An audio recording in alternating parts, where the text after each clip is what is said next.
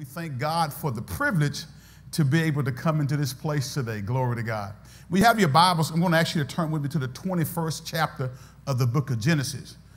The 21st chapter of the book of Genesis. We're going to begin our reading at verse number one. But prior to me uh, starting, I want to read a praise report that I got. I just, it just knocked me off my feet. I was just I was kind of like Shirley Caesar on Saturday when I got this email. I said, Hold my mule. I'm going to shout right here, Kate. If you don't want to shout with me, that's okay. Just get out of my way because I'm going to shout. She says, this, this, I got this praise report. It says, Good morning, Pastor Adams. I want to share with you what God has done. I've been at my current job for 10 years now, and I've been wanting to leave, leave this job for about a year now and really started putting in an effort and looking for a job. I can honestly say that over the last 10 years, my giving has been up and down. How many been up and down? She says, I haven't consistently given tithes and offerings like I should. And it's not that I didn't know what God's word said, but I wasn't committed in that area like I should have been. There have been some messages that have literally slapped me in the face about giving, and I would start giving and then get off track and stop giving again.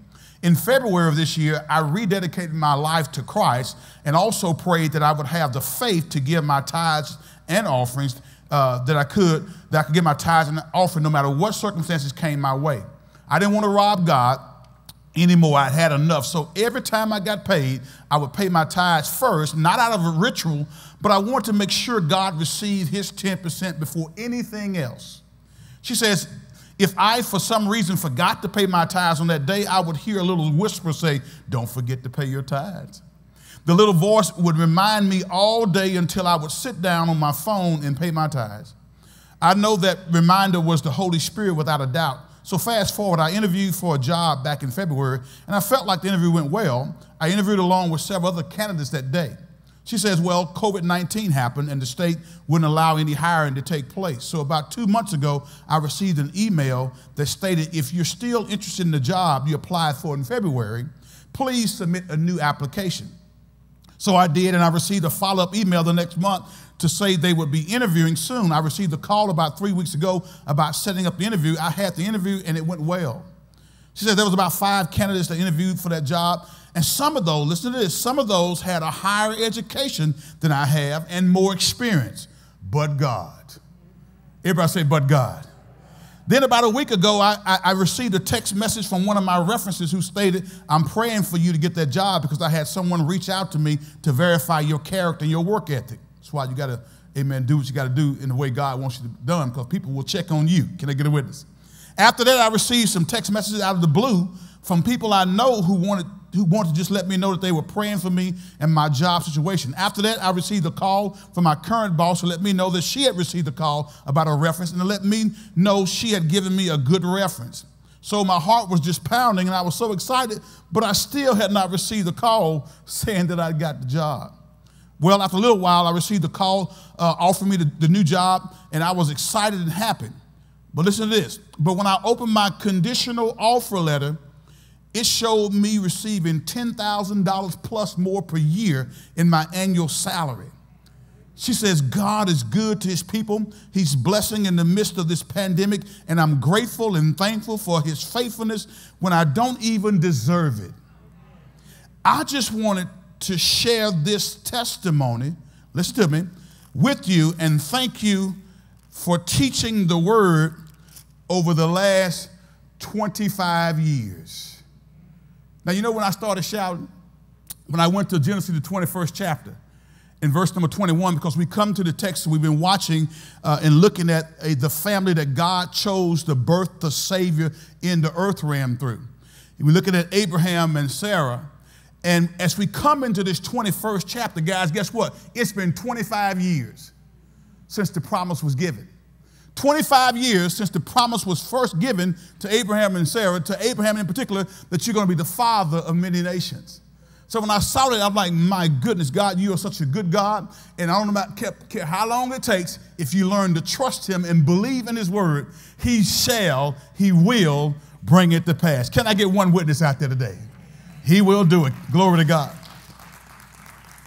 So as we come to the words of our text, uh, in this 21st chapter. Again, 25 years have passed from the time of God's promise to Abraham and Sarah. and the fulfillment of that promise here in our text today. And as we've been sharing over the past few weeks, God had to take both Abraham and Sarah through a process before bringing the promise to fulfillment.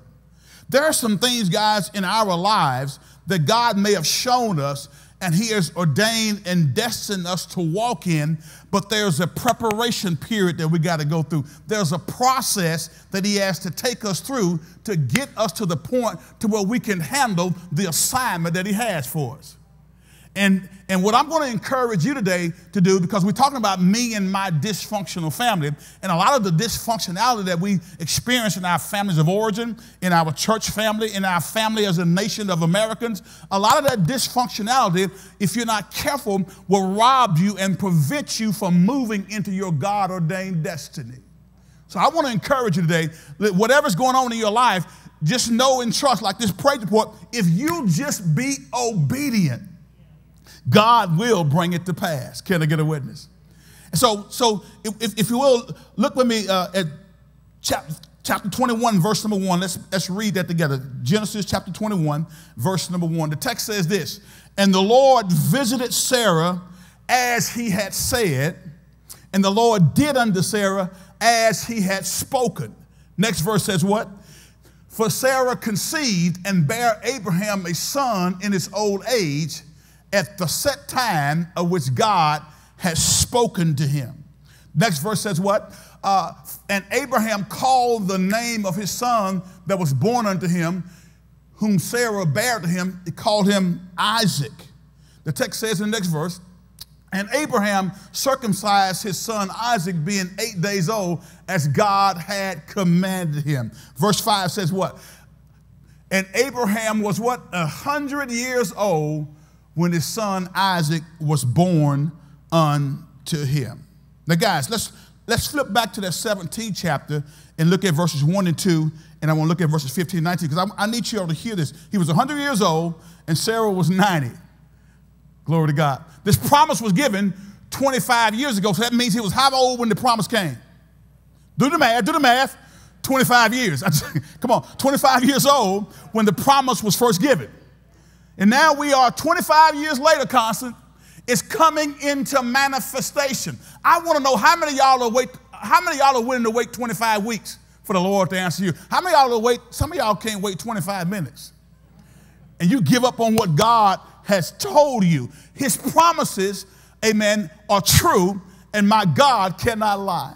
Look at what the text says in Genesis 17, verse number one. The text says, And when Abram was 90 years old and nine, the Lord appeared to him, Abram, and said unto him, he was 90 years old and nine when the Lord appeared. This is the second time. The first time he was what, 75, correct?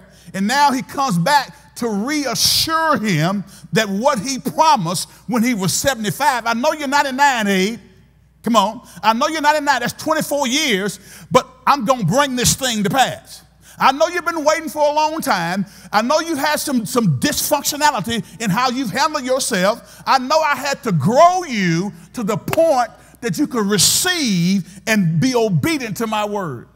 So it says, he says, he was 99 years old and nine. The Lord appeared to Abram and said to him, I am the Almighty God. Walk before me and be thou perfect. Verse number two, let's read together. It says what? And I will make my covenant between me and thee and will multiply thee how? Exceedingly. Go back, go down to verse number 15 with me right quick.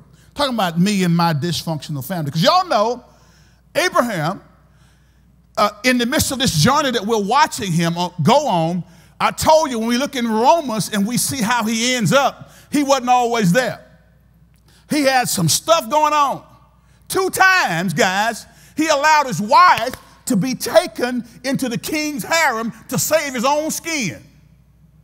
Now, I told you on last week, that's a hard thing to, to swallow because a man should be his wife's protector and his provider. Can I get a witness? A man should, should, should, should die to live. There's there's a, in our men study uh, on authentic manhood, there's a, a paradox principle that we uh, have studied, this, and it says we die to ourselves in order to truly live. We die to live. See, Paul understood that principle because in Galatians 2 and 20, Paul says, I am crucified with Christ Nevertheless, I live, not I, but Christ does what? Lives in me. And the life that I live in the flesh, I live by faith in the Son of God who loved me and gave himself for me. Glory to God. Died to live. You're going to die to live, man. Don't do like Abraham did in, in his early journey of faith. In his early journey of faith, Abraham was not practicing the paradox principle where he died to live. That is a paradox. How are you going to die and live at the same time? I'm crucified with Christ. Nevertheless, I do what? I live. So Abraham is on this journey to being a spiritual leader because if you're going to be a servant, a spiritual leader, a servant leader in your family, you as a, as a, as a husband can't be giving your wife a way to save your skin. And that's literally what was happening. Because you remember the culture that day, whenever king saw a beautiful woman and she happened to be married, he would kill the woman, not, not the woman, he'll kill the husband to get the woman, right?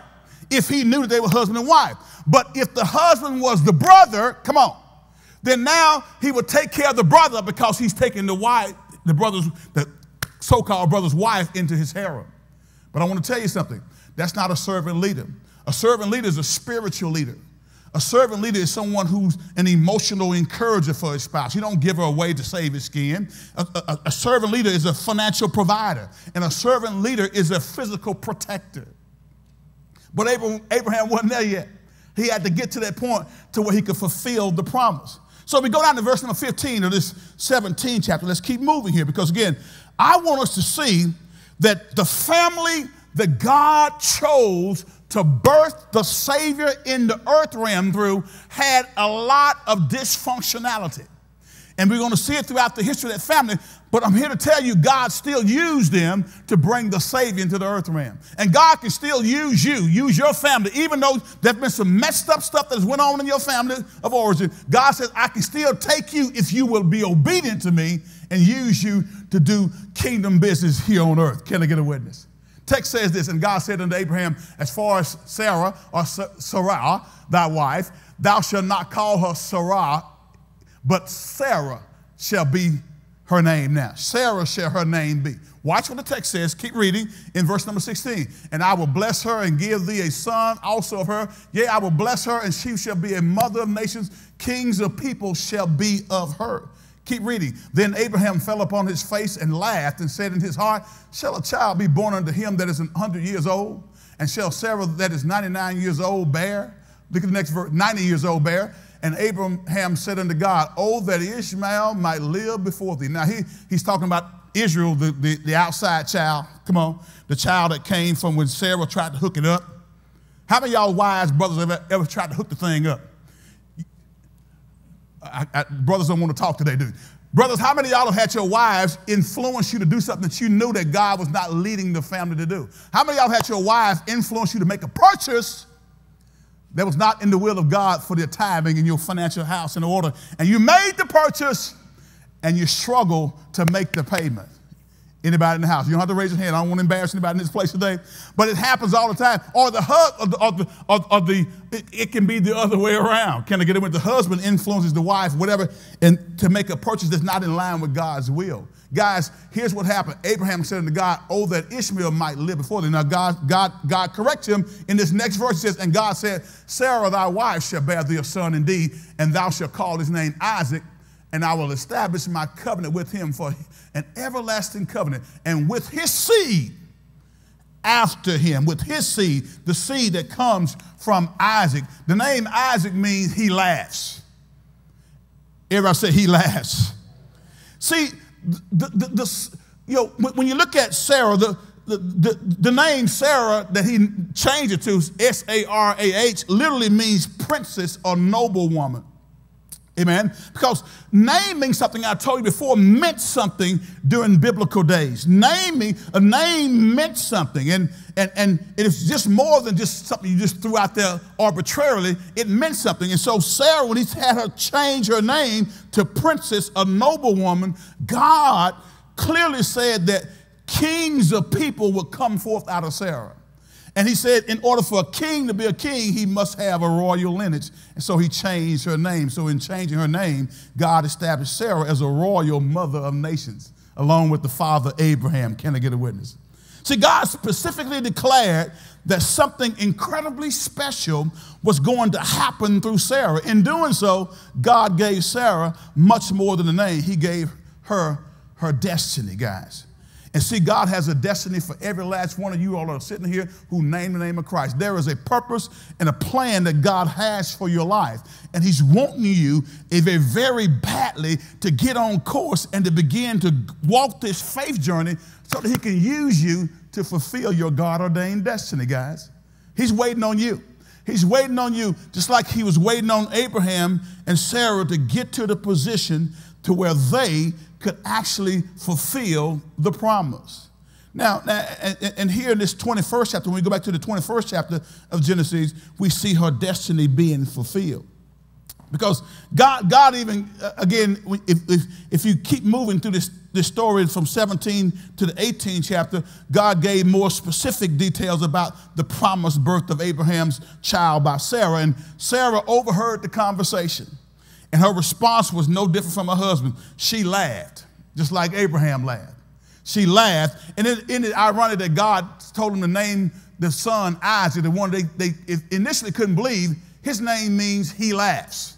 God has a sense of humor, right? You mess up, God said, okay, I'm to remind you, amen, as long as you live, you're to be reminded that, that at first you didn't believe my promise, but I am faithful to my word. You're to name that boy Isaac, and this means he laughs. Come here, he laughs. You know what? He, he, that's what his name meant, guys. And what we got to understand is that God is faithful. Abraham laughed, Sarah laughed, and neither of them believed God could do what he said he was going to do. So, so uh, you know, I, I, can imagine that, that this is similar to what we do as well in our own individual lives. How many of y'all ever laughed at God's promise? Oh, no, no, I, I know you in church, you amen it. I know when you're here, you, you, will, you, you will lift up holy hands, glory to God. You'll hear those songs like they sing like, uh, you know, I will make room for whatever, you know, whatever's in my way, I got to move it out the way. That's the song that just said, right? But how many y'all realize that there are many Christians who are not making Jesus their number one priority? They're allowing work, careers, stuff, people to get in the way of God. And God is saying, I need you to make me my, your number one priority. I need you to believe that I am the God, Lou, who's able to do exceeding abundantly above all that you can ask or think, according to the power that worketh in you. Amen. And that's what God is working on to bring Abraham to this point where he can believe and receive the promise that God had given him. Amen. Early on, 25 years ago, we see it begin to come to pass. Now, watch this. Again, she laughed because she didn't think God understood the facts. How many y'all have said, Well, you know, I understand what you're saying, Brother Pastor, but here's the facts? How many y'all have ever looked at what you looked at and said, I know what you're preaching, Pastor. I know what you're saying, but here's what I'm dealing with. Here's the facts, Pastor. I, I, I, only see so much money in my bank account. Here's the facts, Pastor. My child is wayward, and, and I've been dealing with it for the last 10, 15 years, and it looks like it's not going to happen. Those are the facts, God. Uh, Pastor, I know, I know what you're preaching, but here's what I'm dealing with. I, my, my husband is acting up. My wife is acting crazy. And, Pastor, that's what I'm dealing with. I know you said believe God, but you don't see what I see. Well, the fact, when you look at Sarah's situation, was that she was old. Everybody said she was old. No woman, what, 90 years old got in the business having a wife? Not a wife, having a baby. Yeah, no woman, no what, no how old she is has business having a wife. Can't get away with it. You need to have a husband. Thank you, Holy Ghost. Are y'all with me today? those were the facts. She was old and nothing could change that. Let me tell you, I don't care how, how, how, how, how young you try to keep yourself. At some point in time, your hair will turn gray unless you get Miss Clairol or some other dye and dye. You live on this earth long enough, it's going, it's going, it's going, it's going, it's going, it ain't to be black anymore. You know what? That's one reason why I keep my hair cut low. You know, I keep it low like that. Kevin, you can't see the gray, man. So I just keep it cut low so it looks like, you know, just going on. But you know, at some point in time, if I let it grow, it's going, there's some gray in there. And you can, you can, you, I don't care how Holy Ghost filled you are. I don't care how much you speak in other tongues and dance across this church. When you get old, your body's going to change. Can I get somebody north of 50 to say amen? And you at 25 that think it's going to stay that way, just keep on living. As the old folks say, just keep on living. I told the other week, some stuff drops, stuff get wide, stuff get different, discombobulated. Can I get one amen? Stuff don't look like the way it used to look. Praise God, we still love you. God still love you. Your wife your husband still love you, but it changes. All right, all right. So she's old. That was a fact. But I want y'all to go with me to 1 Corinthians, the first chapter, verse number 18. Let's look at that right quick. 1 Corinthians 8, chapter, verse number 18. The first chapter, verse number 18. I'm sorry, 1 Corinthians chapter number 1, verse number 18.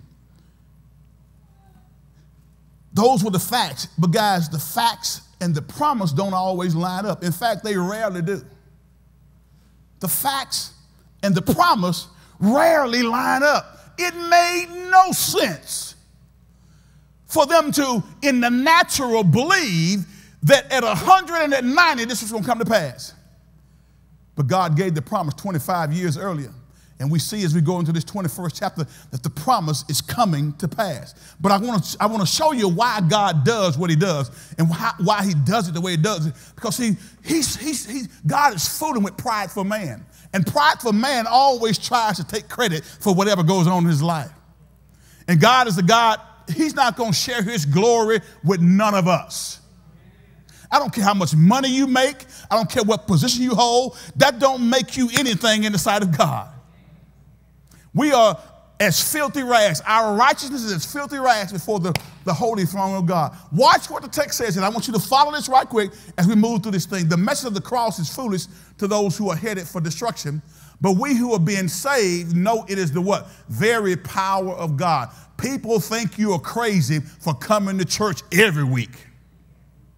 People think you're out of your mind for trusting in the transformative power of the cross of Calvary to get your relationship with God right. They think it's a bunch of stuff you got to do to be right with God. And my salvation and my righteousness before God is not based on how good I am. I thank God it's not because I'm not good enough.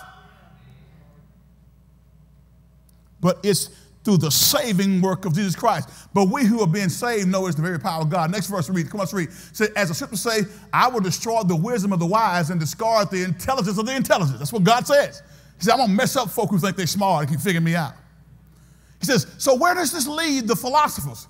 Listen to it. Where does it lead the philosophers, the scholars, and, and the doctoral uh, thesis people and, and the world's brilliant debaters? Where does it lead them? God has made the wisdom of this world look foolish. Watch this, read on. It says, since God in his wisdom saw to it that the world will never know him through human wisdom, he has used our foolish preaching to save those who believe. You got saved because someone told you about the salvation work of Christ on Calvary. You got saved, your life was transformed, and people still trying to figure out how is that? I know that boy. I know what she used to do. I know how she used to be. I know how he was, but there's been a transformation that has taken place in that person's life. I know it. Since God, in his wisdom, saw to it that the world would never know him through his human wisdom, he has used our foolish preaching to save those who believe. Let's keep reading. Come on, let's go. It is foolish to the Jews who ask for signs from heaven, and it is foolish to the Greeks who seek human wisdom. Look at the text. It says, So when we preach that Christ was crucified, the Jews are offended, and the Gentiles say it's nonsense. Look at the next verse. Come on, let's read. But to those called by God to salvation, both Jews and Gentiles, Christ is the power of God and the wisdom of God. Let's keep reading, guys. Watch this. This is good. This foolish plan of God is wiser than the wisest of human plans, and God's weakness is stronger than the greatest of human strength. Next verse says what? Remember, dear brothers and sisters, that few of you were wise in the world's eyes, or powerful, or wealthy when God called you. See, when Jesus called a bunch of fishermen and carpenters and some, some guys who were not theologians to gospel ministry, that didn't make sense in that word. As a matter of fact, there are those who were religious theologians were wondering how could these guys speak with so much wisdom and they don't have the education that we have. Now, I'm not knocking education, but education doesn't mean that you, you're wiser than God. God says, God will take, watch this. Remember, dear brothers and sisters, that fear you were wise in the world's eyes are powerful or wealthy when God called you. Next verse says what? Instead, God chose things the world considers foolish in order to do what? To shame those who think they're wise. And he chose things that are powerless to shame those who are powerful. Look at this next verse. Let's read. God chose things despised by the world, things counted as nothing. Some of you sitting there right now know you were counted as nothing. Even your own family didn't think very much of you, but look at what God is doing through you today. Look how God is transforming your life and moving in such powerful ways to get you to, to be a, a purveyor of kingdom principles. He's doing that. He's using you. Yeah, you're the one that in class everybody thought, hang on. He didn't get voted most likely to see. He got voted most likely to not do nothing. But here you are, God is using you. He takes the foolish thing in this world to confound the wise. Look at, look at the next verse. Come on, let's read. God, it says, as a result, no one can ever boast in the presence of God. Why does God do that? So nobody can boast that I did it based on my spots and my career and my skill sets. He'll take something that's foolish to confound the wise. So the facts, the facts of the matter oftentimes will challenge our faith that God's going to fulfill his promises. The facts are real, they're relevant. However, the question that we got to ask is when you're when you're faced, come on, with your own Sarah-like situation, the question you got to ask is this: Are you going to believe the facts or are you going to believe the promise? Look at your neighbor say, neighbor, I need to know. Just look at him real quick say, I need to know. Are you going to trust the facts? Are you going to trust God's promise? See, when, when it comes to God's word and his promises, the facts alone don't tell the whole story unless you let them. I said, unless you let them. Can I get a witness? Don't let yourself get too caught up in the facts God is trying to get you to embrace the promise. If you can embrace the promise like Abraham and Sarah ultimately did, now they had some, they had, they had some, some, some, some, some, some, some, some, some, some mess ups along the way, but they ultimately got to the point where they trusted the promise. And guys, let me tell you something. God is trying to get all of us to embrace the promise. And that's what Sarah and Abraham ultimately did. And that's why in this 21st chapter we see the fulfillment of the promise coming into manifestation. Guys, I'm going to tell you this. Most of the time, God delays the fulfillment of his promise until you, you and I are no longer tied to the facts. I'm going to say it again. Most of the time, God delays the fulfillment of his promise until you and I are no longer tied to and trusting in the facts. Just as Israel took 40 years to cover ground that should have taken 30, them 35 days, you can wander in a circle of unbelief until you're ready to trust God. Aren't you tired of just work? You all get tired of doing this. Some of y'all, your faith walking just like this, going in circle, and now you're getting dizzy because you're going in those circles, and now you're stumbling. Oh, I almost stumbled, guys. Help me, help me, help me. You keep going in circles, and God says, oh, hang on just a second. Let me, let me calm down. Hey, listen, God says, I need you to trust me with all your heart, your mind, and your soul. The facts are the facts, guys. And I'm not saying that you should dismiss the facts or deny them. Just never let the facts override the promise because God is greater than the facts. God is greater than your upbringing. God is greater than any racism that comes against you. God is greater than that guy that don't like you. God is greater than your family member who's trying to pull you down so they can look better. God is greater than all of that. So he says, don't come to me with what you think is holding you back. Are you willing to trust my word? Facts alone will lock you into a natural frame of mind, but faith alone will move you into a supernatural state of mind. Y'all remember what, what, what God said in Hebrews 11 and 6? But without faith, it is impossible to please God. The person that comes to God must believe that He is, and that He's a what? Rewarder of them that do what? Diligently seek Him. So we know that God's ways are not our ways, right? But He will let us delay our destiny if we're too focused on doing things our way simply because we can't imagine any other way. What God is trying to do, Sister Luke, through our, through our faith journey, is to get us to transform the way we think. Because God changes us by changing the way we think.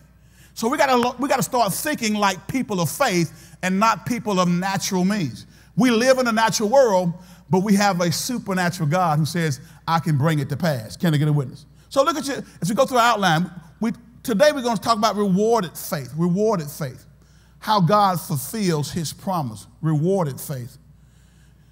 First thing I want you to make a note of is, is God proved himself, he proved his word, and he proved his power. If you go back to verses 1 and 2, let's read it one more time. In Genesis 21, verse 1 through 2, God proved himself, he proved his word, and he proved his power. Text says this, and the Lord visited Sarah as he had said, as he had said, and the Lord did unto Sarah as he had spoken. That's critical. Don't miss that. The Lord visited Sarah, everybody say, as he had said. And the Lord did unto Sarah as he had what? Spoken. See, God is a creator. And part of his creation ability causes him to speak word.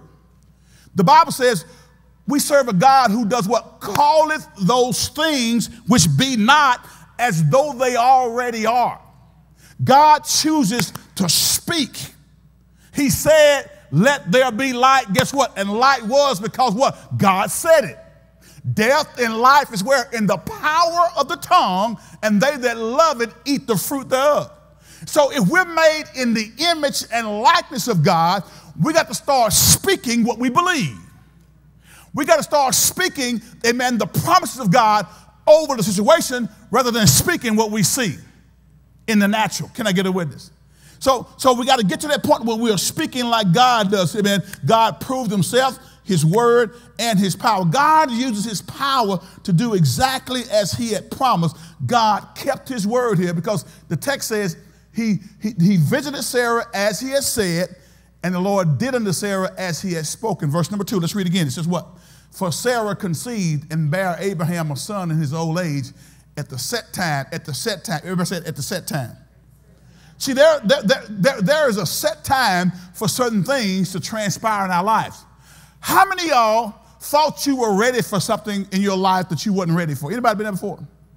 How many, you know, I mean, I, I, I go back to when I was a little boy playing up and down Old Bellevue Road with Gary Johnson and the rest of these guys, and we were riding a bicycle where we made our own chopper. Any y'all y'all ever had a bike where you cut the, the forks off another bike and stick it on the end of it, and you made a, what you call a chopper? Y'all know what a chopper is?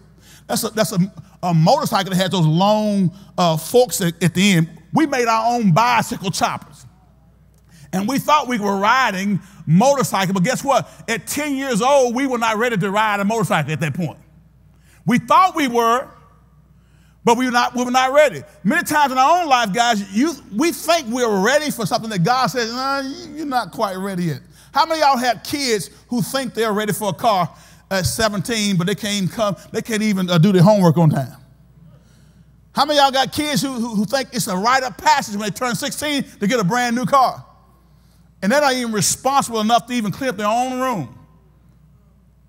Do y'all have children that don't clean up their own room? Oh, so, oh, oh, y'all, y'all like that. Well, you know, brother pastor, you know, I just, I believe that they, I need to let them be themselves and, you know, they got to grow into their own, grow into your own. You're going to grow into your own, all right. Get in there and clean up that room. You're not paying any rent and part of your, part of your ability to stay here means you keep the doggone room clean. Hello? You're not paying any mortgage. You're not paying any electricity. Keep the room clean. That's for some, I don't know who that's for right now. You may have a 55 year old still staying in your house and won't clean his own room. That's your fault, parent. Come on. If you got a teenager and they, they won't clean their own room, it's your fault.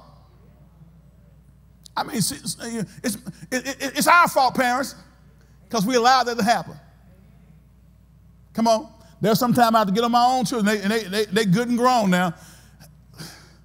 One thing I can't stand is an overrunning trash can. That just, uh, can I, can I give y'all my pet peeve? And anytime I would go into Sandra's room or Junior's room and the trash can is overflowing, you can't get nothing else in there, that just bothers me. Does that bother anybody else in here? Like, am I the only one that way? Am I weird like that? Some of y'all say, well, that's the trash can for. You put trash in it, but you got to empty the doggone thing.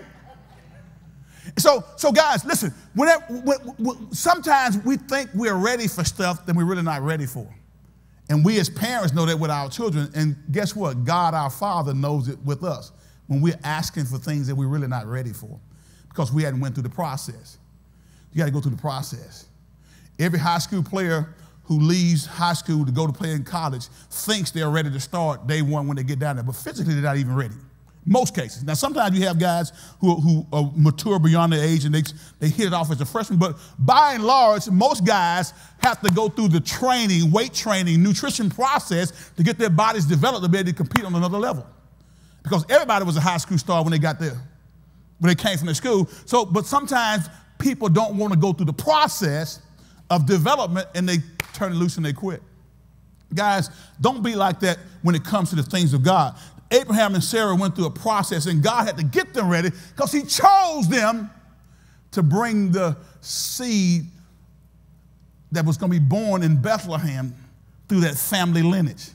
And he had, you know, if, if, if, in God's this way, God knows, amen, what's going to happen before it ever happens.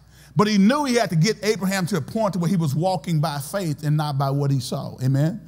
Although Abraham and Sarah laughed when God told them that he would do what he would do through them, they had been introduced to a greater level of God's power the second time around when God came around.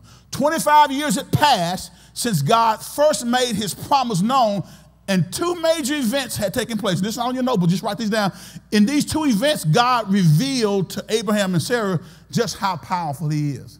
Because again, we said God proved himself, his word, and his power. First thing was, the first event took place in Sodom and Gomorrah when God destroyed the two major powerhouse cities of Sodom and Gomorrah. He showed Abraham and Sarah that nothing is too difficult for him. That's the first thing. Second thing we covered last week is when, in the second event over in, in Genesis, the 20th chapter, verse 17 to 18, when Abraham prayed to God and God healed Abimelech. Because remember, when Abimelech took Sarah to be in his harem, God intervened and came to him in a dream and said, Listen, that, that, that's, that's, not right. That's not right. You took a man's wife, and God spoke to him in this dream and told him what he did was wrong. And God cursed his family to the point to where not only would his wife not be, his wife couldn't bear children, but everybody in the household, including servants, were now barren and could not have children. And I don't know, again, back then, that culture, that was considered to be a curse if a woman could not birth a child into the earth realm, especially if she couldn't have sons. So we see here, now watch what God does here because he's trying to put faith in Abraham and particular Sarah. The, the, the, Bible says when Abraham prayed to God and God healed Abimelech and his wife and his, and his maids so they could bear children, for the Lord had closed fast all the wombs of the household of Abimelech because of Sarah, Abraham's wife. And what God was doing was showing Sarah that, listen, if I can close and open those wombs, don't you think that I can open your womb to fulfill the promise that I gave you almost 25 years ago? He, they saw that. They saw God's power in destroying Sodom and Gomorrah, and they saw God's power in opening up the wombs of Abimelech's family that had been closed by God. And that's significant because Sarah saw that and it stimulated her faith. See, sometimes we have to see God moving in other folks' lives, amen, for it to, to, to, to beef up our faith. I, I, don't know if she's here today, but yeah, I think, uh, is Mandy here? Uh, yeah, that's Mandy. I, I, I, always think back to Sister Neil um, when she was believing God for her, her child care business. And y'all pray for all child care business because they're, they're in, a, in, a, in, a, in a fix here. And I say in a fix, you know, it's, it's, it's, it's, a, it's a complicated situation when you got children can't go there and in, school and that type thing. So we need to pray for this country that, that, that God heals the land. And we, in like Second, Second Chronicles 7 and 14 said, if my people, not the world, if my people, which are called by my name, shall humble themselves and pray and do what? Seek my face and turn from their wicked ways then I will hear from heaven. I will forgive their sins and do what? Heal what? The land. That's what it says. I may have been off a few words there, but look it up, we get home. That's our prayer connect Wednesday based scripture. Listen, guys, God is able to heal, but we got to do our part as, as, as, members of the body of Christ. Can I get a witness? So, so we look at this thing. Again, let's go back. Her faith is being stimulated as a result of her seeing this come to pass. So the first thing we said was when we look at this text, rewarded faith, God proved himself, his word, and his power. And he, he, gave these examples here to stimulate them. He showed them Sodom and Gomorrah being destroyed, and he sold, sold, sold them God uh, uh, not only shutting up the wounds of Abimelech's family, but he sees Sarah sees them opening the wound. Don't you think that was? Don't you think for one second that she didn't take notice of that and said, "My womb has been shut up for 24 years," and I see God is able to open wounds, and so now I got faith that he can do it. If he did it for Mandy after 12 years of standing in faith for the opening of a bit, 12 years of believing God, a process where she went and, and, and through that process at first was maybe turned down, but now God opened the door of opportunity for her. And he's prospering her business because she stood in faith.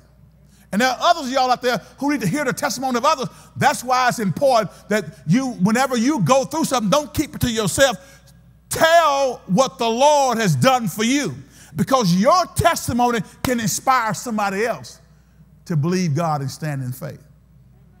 But a lot of us may like we ain't went through anything. A lot of us won't tell about the struggles we had in our relationship and want everybody to think that we've been smiling and cheating at each other all this time. Y'all know y'all used to fight like cats and dogs since you've been saved.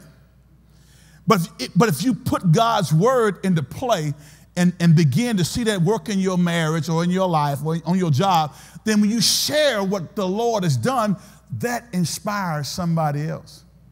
To say, if he did it for Rod White, if he did it for Tony White, if he did it for Brenda Vincent, if he did it for Faye Lampkin, if he did it for uh, uh, Kay Bryan, if he did it for Kelvin Boyd, he can do it for me. Because God is not a respected person, guys.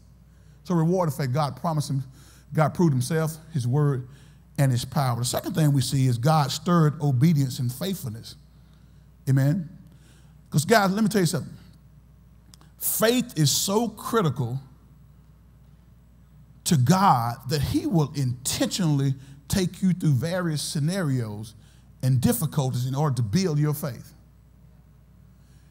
Because faith comes by hearing, hearing by the Word of God. But, but, but faith that has never been really tried and tested can't be determined if it's genuine or not. How do you know if you really have faith, but it's never tested? All you did is sung about it.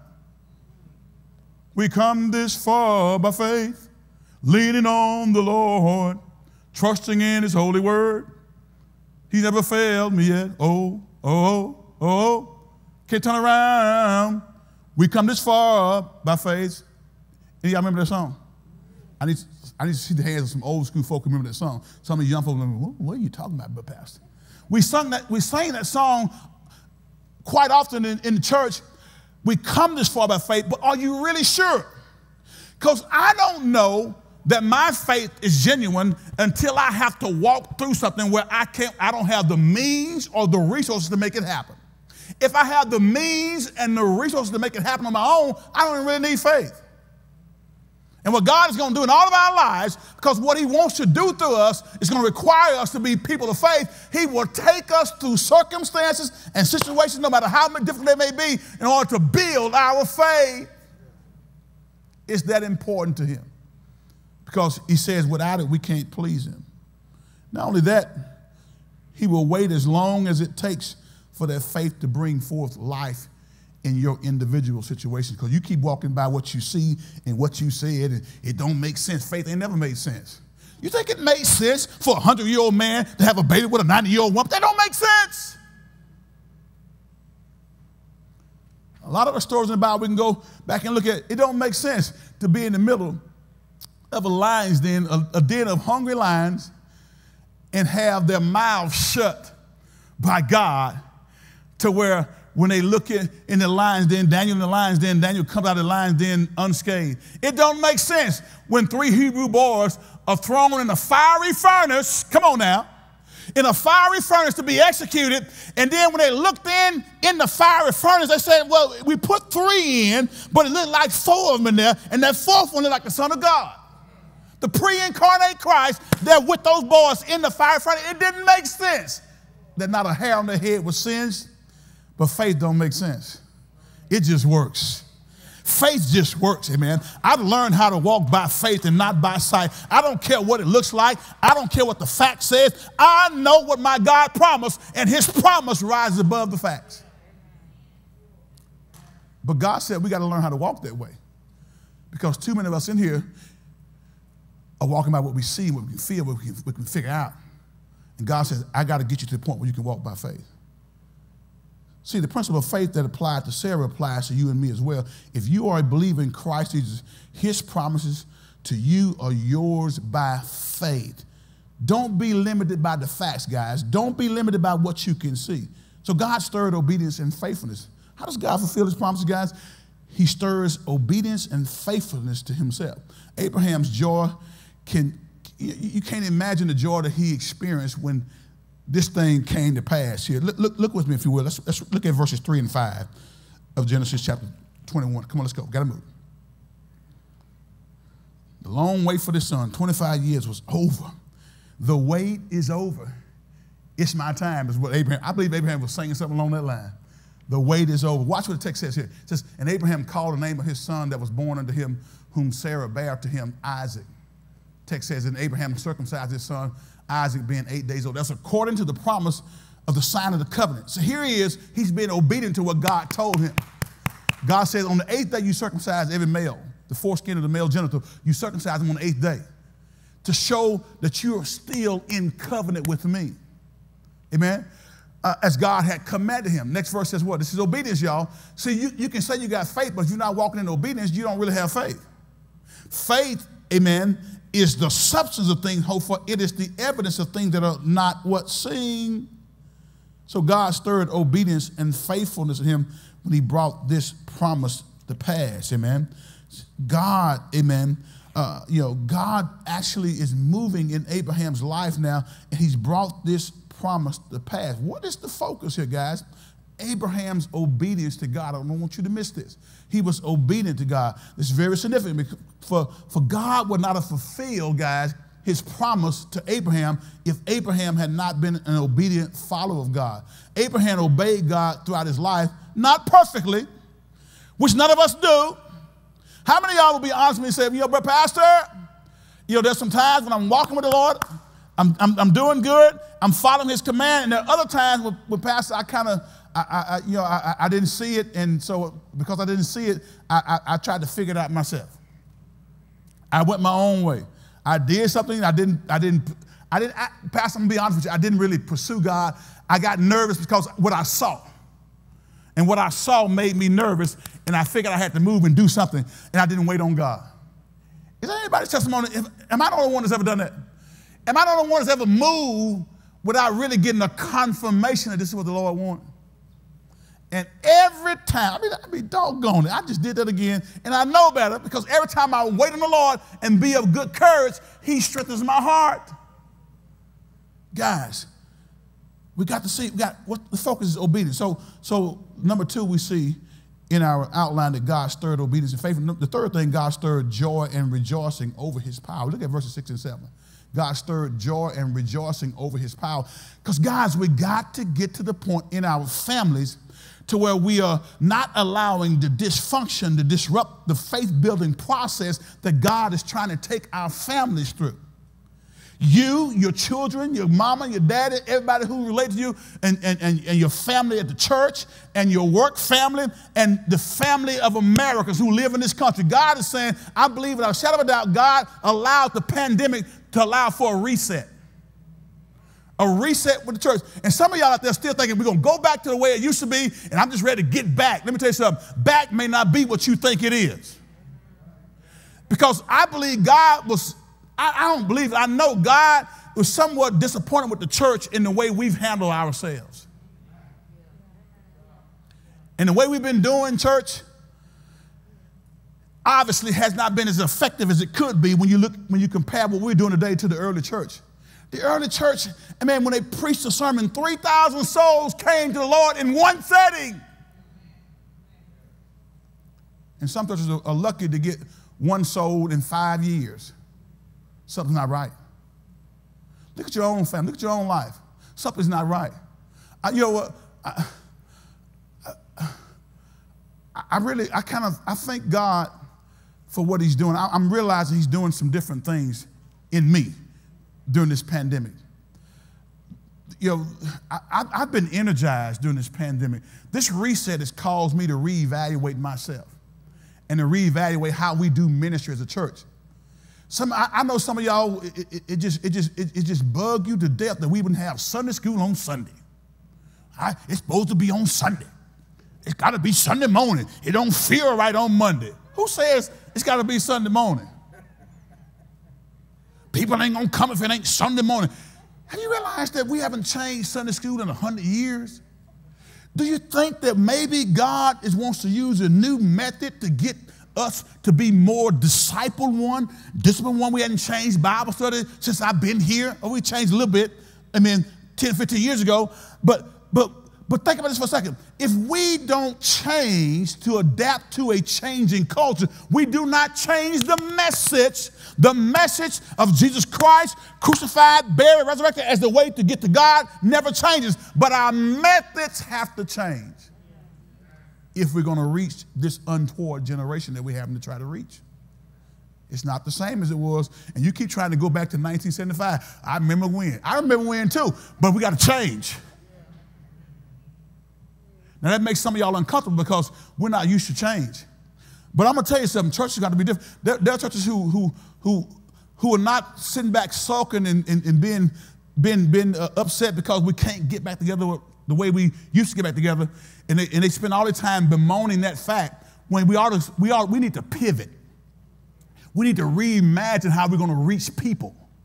And the way we reach people in 2020 is different than the way you reach people in 1965, 1975, 1985, even, even in 2005. So my question to you is, if God says we're going to pivot, we're going to reset, we're going to do it differently, can you go with God or are you going to be stuck with your, I, I got to have Sunday school on Sunday morning, Pastor because I can't get, I, I, I, don't even feel right. That's, we ain't talking about what you feel. We're talking about what God is trying to do. God says, I want you to change. The Pharisees wouldn't change. They couldn't see what Jesus was saying because they were stuck on their tradition. They couldn't imagine that the gospel is going to the Gentile believers too. And the Gentiles got just as much right to God as they did. They thought they had a patent on God. Because after all, they were the nation that God chose to bring the Savior earth ran through. The very Savior they rejected, by the way. So, guys, it's, it's, it's different. God is resetting. He's trying to do something with the church because I believe this slowdown has caused a lot of us, even as family units, to do some stuff that we hadn't done in years. First of all, some of y'all hadn't cooked in years. And now you cooked a meal three times during the week. I, I, you ain't made the five yet. You, you cook three times. You're like, oh, Lord Jesus, what's happening? The rapture's on the way. Mama don't cook three times. We ate together three times this week. Oh, Jesus, what is happening?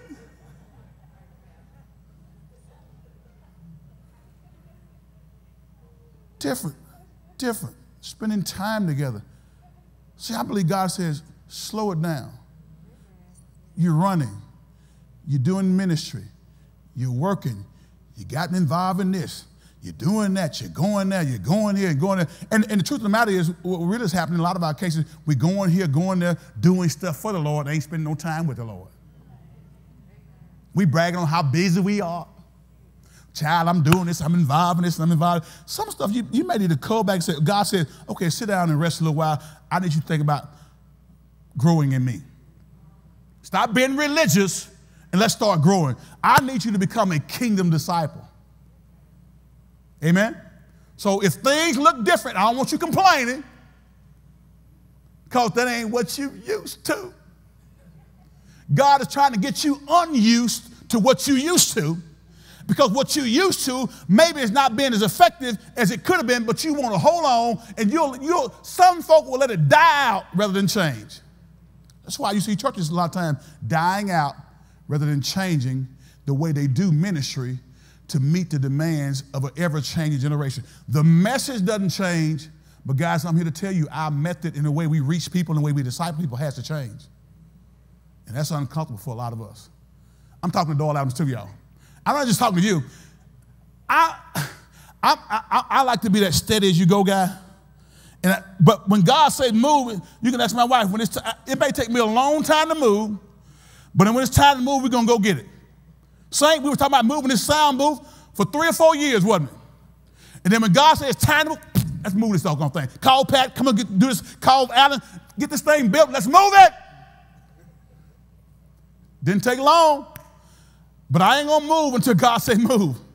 I've learned how to trust Him and be faithful. But sometimes I'm not moving because I got to watch myself because I'm, I, I, don't, I don't, come on, most of us, when we get north of 50, we don't like too much change, not, not quick change, you know. But God says, if, if you're going to reach people, I got to change how you're reaching. I'm still going to use the same gospel, but I got to change. So, so take advantage of this time period. You that working at home, stop sleeping. Work at home. Do what you got to do so you can honor the Lord. I know I'm right about it. You ain't got to say nothing. You, you ain't got to say amen. I know I'm right about it. Some of y'all got to pay the man back. Pay him back for your, for, your, for your lack of diligence in working from home. Now, some of y'all do okay. Some of y'all say, well, Pastor, I've worked at 12 o'clock at night. Yeah, but some of y'all sleeping on the job. Okay, that's for somebody who need to hear that. So God stirred obedience and faithfulness. God stirred rejoicing, joy and rejoicing. See, there was a great similarity between the birth of Isaac and the birth of Christ. The birth of Isaac actually was a foreshadowing, or it was pointing to the birth of Christ.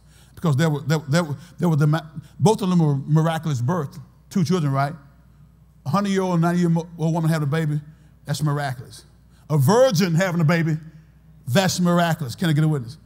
The, the, the times for both of those births were set or appointed by God. God set the time for Isaac's birth, and he set the time for Christ's birth. It was a foreshadowing of the, of the, birth of Christ to come. The, both Isaac and Christ were the promised seed or the promised son. Okay? Isaac was the promised seed to Abraham, and Christ was the promised seed, amen, that would come to be born in the manger in Bethlehem through, through the Virgin Mary. There was the assurance of God's power in both of those births. Both Sarah and Mary wondered how could they bear a child. It was just impossible. But when the angel came and told her and gave her another witness uh, about Elizabeth, your cousin, got pregnant in her old age, then now she said, Be it unto me according to thy word. Whenever you can say, God, I don't understand it, I don't feel it, I don't know how it's going to happen, but be it unto me, God, according to your word. Whenever you get, get to the point where you say that about every promise in God's word, you'll begin to see it manifested in your life. Both children were named by God Himself. He named Isaac, he laughs, and he named Jesus, amen, his own son, the Savior of the world. Can I get a witness? And both children brought great joy to their mothers and caused their mothers to focus upon God and what He had done. Can I get a witness? So I'm going to stop here, and, and, and we're going to get through with me and my dysfunctional family before the, before the rapture takes place. we almost at that 22nd chapter. And that's where we're going to stop at that 22nd chapter. But there is so much rich meat in here, guys. I don't want you to miss what God is trying to do through this church. God is doing some unique things. And God needs all of us to be willing to be kingdom disciples. God said it's time out for us being church members. We got to be willing to be disciples. And those y'all that are here and those y'all that listen to me by, via live stream, God is saying it's time for you to step up. Some of y'all have been here 20 years and hadn't grown that much because you're not willing to be discipled. You're not willing to, to get into the book. You're not willing to be taught. You're not willing to be faithful and committed to the thing or the ministry that you signed up to be committed to. Not willing to be faithful to even do what you assign or you say that the Lord led you to do. Guys, we gotta, we gotta become kingdom disciples. And the study that we get ready to go through by Dr. Tony Evans, it lays it out plainly what it means to be a kingdom disciple. And what God wants to do through this church is going to require us to not to be full of babies. We don't need baby Christians who wear their feelings on their shoulder, get their feelings hurt, want to cry, want to quit. It's time for you to step up and run with the Lord. You've been here, if you've been here five years, you should be growing. You've been here 10 years, you should be growing. If you've been here any period of time, there should be a growth process that's evident by your spiritual walk. And so, as your pastor, guys, I'm going to challenge you. Let's don't sit on the sidelines. It's time for us to, to be out front, leading and bringing the family of God together, dealing with the dysfunctionality that's happening in the church. Are y'all with me? Are y'all ready to run? No, no, no, no, no. Are you ready to run? Are you ready to get past your traditions, get past what you're used to, and say, God, however you want to use me, use me in your service? However uncomfortable it may be, God, I'm willing to go with what you say, let's go with. And that's what God is after a servant who's willing to obey, even when it doesn't feel good to them, to their flesh, but you know it's the Spirit of God leading you. Every head bowed, everybody closed. Father, we thank you and praise you for this time and this opportunity. You are a wonderful God, and we love you. Father, we thank you that after 25 years, you brought the promise into manifestation. Father, we, we trust and we believe and we know that you are a God who hears and answers prayer. And I thank you right now, Lord, for this time. Thank you, God, for speaking to our hearts today. Lord, I pray that something was said to inspire each one of us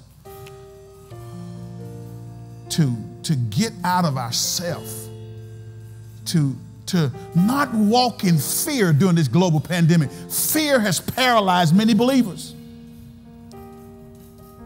And yes, Lord, we understand the times, we understand the precaution, but Lord, you told us not to be overburdened or to be, you didn't give us a spirit of fear, but a power, love, and a sound mind. So, Lord, I pray right now that no one in this building, no one who's listening by way of live stream will allow fear to overtake them to the point that where they can't trust you to see them through.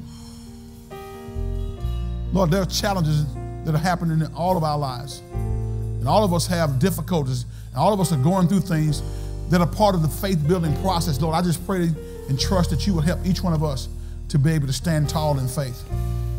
You gave your son to die on the cross for our sins. He was crucified, buried, and resurrected the third day morning with all power in heaven and earth in his hand. And Lord, he's given us the ability to walk in that divine power. So we thank you for this day. Thank you for this opportunity. In the name of Jesus, we pray. Glory to God.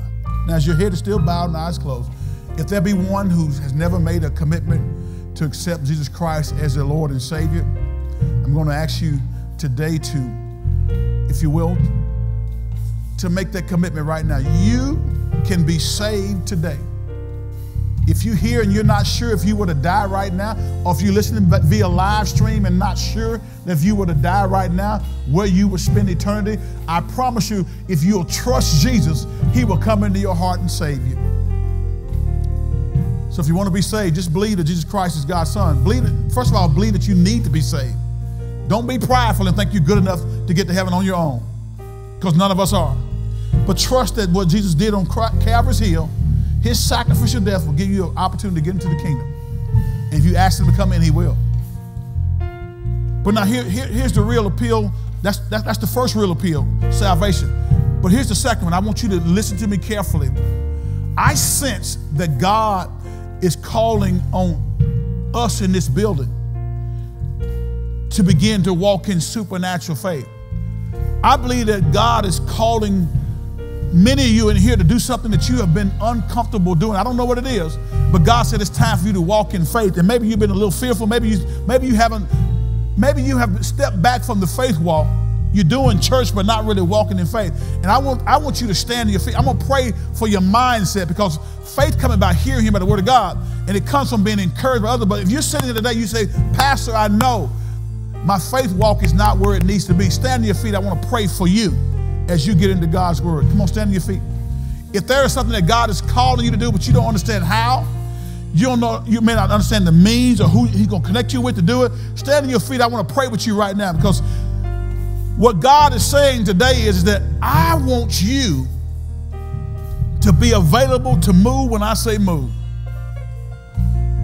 God is saying, when I reveal my will and the promise to you, you may not understand how I'm going to do it, but just trust that I'm going to do it.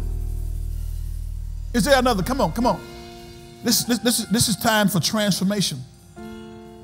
God wants to transform this church, and He wants us to be that vessel that He can utilize to advance kingdom principles. He wants to disciple us. He wants us to come out of our comfort zone. Yes, He does. He says, I want to use you, EBC, to be on the leading edge of the change that I'm trying to bring to the church. Glory to God. Let's pray right now. Father, we thank you and we praise you. And we lift you up and we give you the glory, in the majesty. You are an awesome God, and you are worthy to be praised. We magnify you, God. I pray for those who are standing right now. God, you know the individual that's standing. God, you know the faith walk. You know the challenge to their faith that they're experiencing right now, God. You know that you're trying to get them out of what they're used to and get into what you want them to do and you want all of us to do. And God, I'm standing for myself along with them. God, I know that you are transforming this church from the inside out. And God, give us the strength and the courage to walk with you even we don't understand you. God, faith means that sometimes we don't understand what's going to happen. We don't understand the way, and we but we're just going to trust you that you're going to bring us, amen, through and help us to be able to accomplish those things you set our hearts and our minds to accomplish. Thank you now, Jesus. We praise you. Thank you for strength. Thank you for courage. And God, we're going to believe that we're going to be strengthened by the word to walk by faith and not by sight. For we love you, God, and we praise you. In Jesus' name, we declare the victory. All those in agreement said amen. Come on, give him a hand of praise. Come on, bless him, bless him, bless him. Hallelujah. Praise God. We thank God for you today. We thank God for those who, who, who view in the via live stream. Hey, don't forget, uh, this coming Wednesday, we'll have another session of Real Talk Racism in the Church. We have a panel that's, that, that uh, shares some insightful things with us. So tune in Wednesday at 7. Next Wednesday, we got I, I got a treat for you. My, my good friend, my buddy, Pastor Tim Ross, is going to be here to record uh, for uh, the following week. You don't want to miss this brother. He's been coming and sharing with us for 20 plus years. He actually pastors a church that uh, African American pastor in a multi ethnic church in Irving, Texas. 60% African American and 40% white and other. So, so, so we want to hear how he's doing and what he's doing and, and, share some, some insightful pointers with us as a church body because we're, we've been called upon to be not bystanders, but called upon to be a part of the change that God is trying to institute in the church. So, Brother Tim will be here uh, to record that, and that'll be shown not just coming Wednesday, but the following Wednesday. So, we, we ask you to tune in and, and reach out and begin to, to, to seek out relationships where you can begin to be honest with people and have crucial conversations. I'm excited about what the Lord is going to do. Uh, and I trust that you are willing to go along on this journey. Amen. So, live stream artists, God, thank God for you. We, we look forward to seeing you on next Sunday as we continue with me and my dysfunctional family. God bless you. See y'all next week on the live stream. Glory to God.